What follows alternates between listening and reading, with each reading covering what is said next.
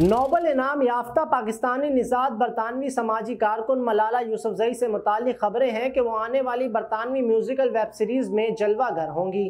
Showbiz magazine dead lines کے مطابق ملالہ یوسفزئی اور برطانوی نژاد بھارتی لکھاری اور خواتین کے حقوق کی رہنما میرا سیال برطانوی musical web series we are the ladies parts میں جلوہ گر ہوں گی۔ اگرچہ we are the ladies parts کی ٹیم نے دوسری سیزن کو تیس مئی کو ریلیز کرنے کا باضابطہ اعلان کیا ہے، تاہم ٹیم نے ملالہ یوسفزئی اور میرا سیال کے حوالے سے کوئی بیان جاری نہیں کیا۔ یونیورسل اسٹوڈیو کے آفیشل انسٹاگرام پر ویب سیریز کے ریلیز کی تاریخ کا اعلان کیا گیا۔ تاہم، ٹیم نے ملالہ یوسف زئی کے حوالے سے کوئی ذکر نہیں کیا۔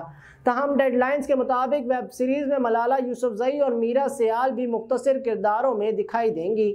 ممکنہ طور پر دونوں خواتین کو ان کی جد و جہد اور کامیابیوں کے حوالے سے ویب سیریز میں دکھایا جائے گا کہ وہ کس طرح کن مشکلات کا سامنا کر کے اعلیٰ مقام پر پہنچیں۔ Musical web series we are the ladies parts کا پہلا سیزن دو ہزار اکیس کو ریلیز کیا گیا تھا۔ اب اس کا دوسرا سیزن ریلیز کیا جائے گا۔ ویب سیریز کی کہانی مسلم نوجوان لڑکیوں کی جد و جہد کے گرد گھومتی ہے، جو متعدد مسائل کے باوجود میوزک کی دنیا میں اپنا نام کمانے میں کامیاب ہو جاتی ہیں۔ ویب سیریز کے تمام کردار مسلمان لڑکیوں کے ہیں، لیکن تمام کرداروں کو مختلف رنگ و نسل اور ثقافت سے دکھایا گیا ہے، لیکن تمام کردار برطانیہ میں پلے بڑے ہوتے ہیں۔